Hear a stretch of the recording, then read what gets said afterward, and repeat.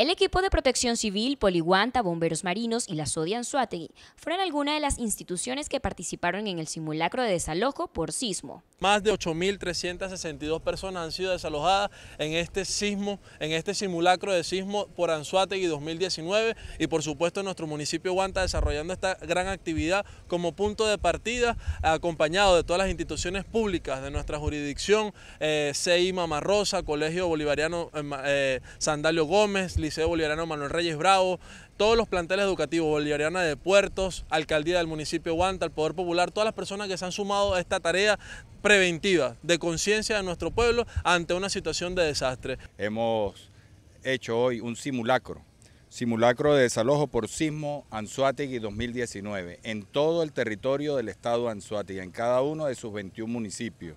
El estado de Anzuategui se ve afectado por la falla del Pilar, por la falla de la Tortuga y por la falla de Urica. Normalmente cuando ocurren este tipo de, sismos, de movimientos telúricos, el Estado se ve afectado. Ahora bien, nosotros esto lo hacemos en el marco de este plan, pero también para instruir y adiestrar a toda nuestra población, porque este tipo de evento no avisa.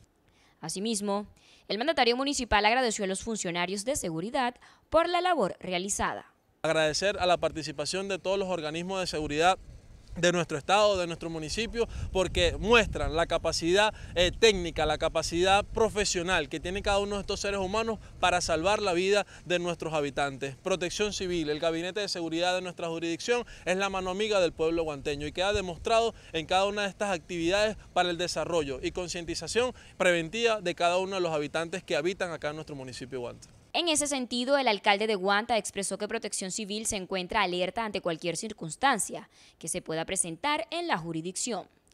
En la Cámara, William Hernández y quien reporta para ustedes, Yaerlis Escudero, Óptica Nacional.